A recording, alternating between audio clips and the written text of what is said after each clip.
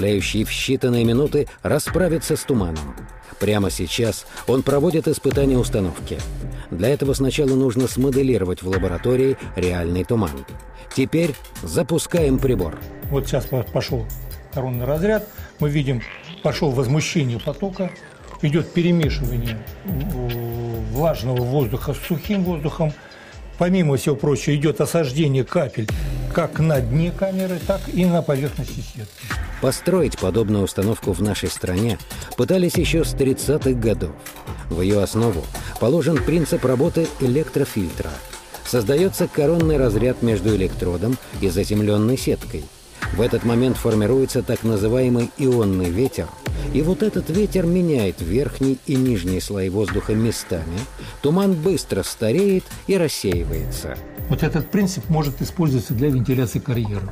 На сегодняшний день в карьерах используются и газотурбины, двигатели ставят, и система огромной вентиляции и так далее и тому подобное. Новый прибор можно будет собирать из нескольких модулей в зависимости от площади, которую потребуется очистить от тумана. В Институте метеорологии судили увеличенную модель сетки, чтобы проверить ее действие в огромной 15-метровой железной камере.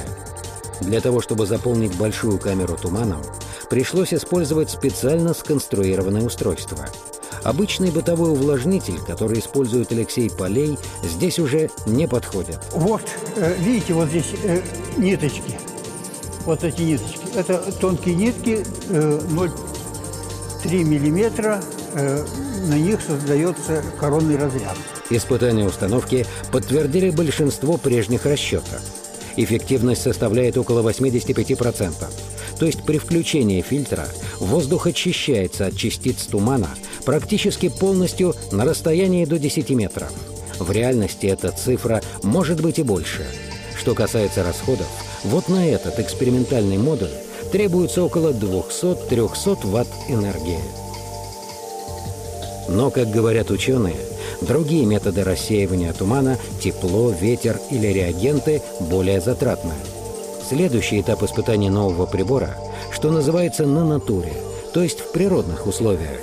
Все идет к тому, что человек в скором времени сможет управлять туманом так же, как занавесками на окнах. В Перу открыт новый мертвый язык, как бы парадоксально это ни звучало.